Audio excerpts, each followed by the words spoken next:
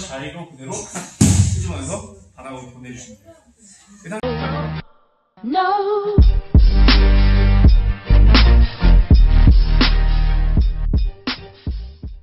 안녕하세요. 박사방TV의 박사방입니다. 안녕, 우정입니다. 네, 오랜만에 오디오 사실이 또 왔습니다. 어, 부천 좀 놀러 오시죠. 아, 제가 주말에 좀 일이 많아서. 아, 참, 아, 아, 네, 또 한번 알겠습니다.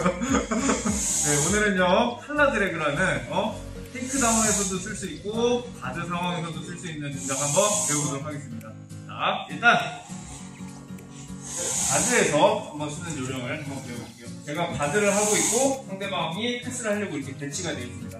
그래서 일단, 내가 편한 손, 주로 오른손이 되어있죠? 오른손으로 상대방의 이 대각선 깃, 상대방의 오른쪽 깃을 잡아서 쇄골 부분에 정권이 이렇게 딱 있을 수 있고 상대방이 접근을 하려고 해도 약간 좀 불편하게 이런 식으로 프레임을 형성해서. 그렇다고 해서 이걸 너무 의지하게 되면 좀 고레벨이 되면 flying armbar 같은 데 걸릴 수 있긴 한데 어, 일단은 뭐 그건 배제하고 한번 연습을 해볼게요. 자, 자 이런 식으로 딱 나와주시고 반대손이 정말 밀리지 않도록 저희 뒤로 밀리지 않도록 어? 베이스를 딱 잡아주세요. 이렇게. 그래서 상대방 움직임에 따라서 상대방이 왼쪽으로 움직이면 이렇게 따라가고 반대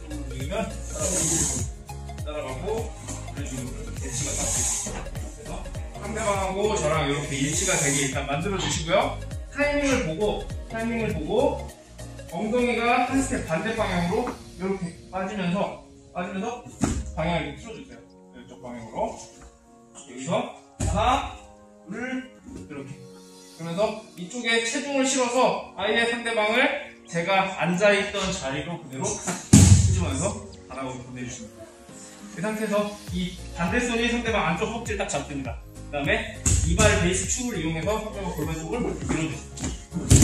그러면 상대방 사이드를 자연스럽게, 자연스럽게 다시 한번 보여드릴게요. 자, 그래서 대각선 깃 잡아주고요. 상대방 움직임에 따라서 유지, 반대로도 유지. 하나가 타이밍 잡고, 자, 하나, 둘, 셋. 이렇게요. 그 다음에 반대손에 상대방. 그 다음에 사이드를 자, 요 칼라 드래그는 어, 앉아서뿐만 아니라 서서도 자, 칼라 드래그는 앉아서뿐만 아니라 서서도 쓸 수 있거든요. 서서 한번 보여드리겠습니다. 자, 서서 스탠딩에서 상대방이랑 대처하게 되면 일반적으로 약간 상체가 써있는 상태에서 상대방하고 연습으로 대처가 되게 돼요. 요령은 비슷합니다. 오른손으로 상대방 대각선 뒤를 잡아주시고요. 자, 스텝이 한 템포 약간 바깥쪽. 상대방의 바깥쪽으로 가면서 매달리셔야 돼요. 매달리면서 여기서 약간 엉덩이 저쪽 바라고 이 상태. 상대방한테 매달리듯이. 그래서 이렇게. 상대방이 제가 원래 서 있던 자리로 이렇게 넘어질 수 있어요. 이 상태에서 마찬가지로 자리에 딱 끌어 안아주시고 머리로 미셔도 되고 아니면 내가 가슴을 흔들어도 되고 그래서 상대방의 사이드를 이런 식으로 다시 한번 보여드릴게요. 그래서 다음 상태에서 끌어당기고 막 만약에 상대방이 깽깽이 뛰면서 버티게 되면 싱글렉 테이크 다운으로 연결해 주시면 되겠습니다.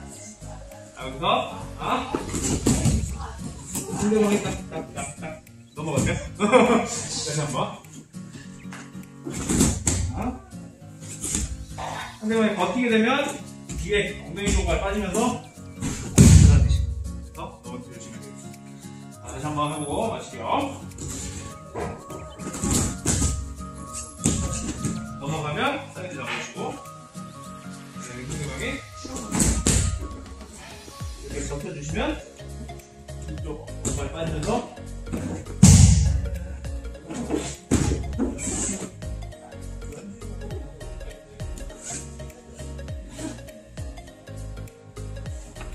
네, 그래서 오늘은 어, 칼라 드래그에 대해서 배워봤습니다. 연습 철저히 하는 거 조심하시고 저희는 다음에 또 부천에서 부천에서 들어가겠습니다. 자, 박성TV의 박성범이었습니다. 저는 어정이었습니다. 감사합니다.